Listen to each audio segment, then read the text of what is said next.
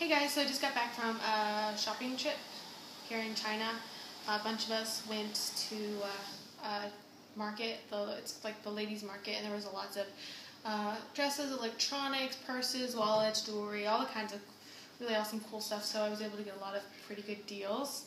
And on the way back, we stopped at a market and got some really awesome fruit. So I'm going to show it to you guys um, before I eat it because I want to eat it. Um, I got papaya, only half because the full was kind of, it was too awkward and expensive. So, and then I got dragon fruit. Really happy for that. I got three of them. And some mango, a couple of them because I already have a couple from yesterday that I bought.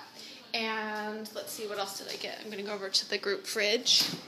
And what do I have? I got some, this isn't raw, but it's really good fruit juice, black currant and aloe vera juice. Stuff. And all it is is black currant and aloe vera. Yeah, that's what that all is. It's the juice. So, really enjoying that.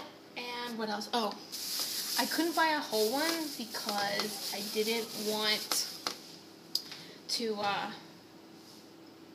I didn't, I didn't want to stink up the room, but we got, where is it? I can show it to you guys.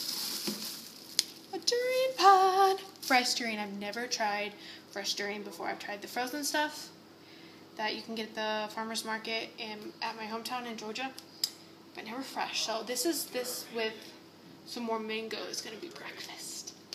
Super excited. I know people think it smells funny, but once you've tried it and you realize how good it is, you enjoy it. But that's it for you guys now. I'm going to go eat the fruit. I'm starving. See you later.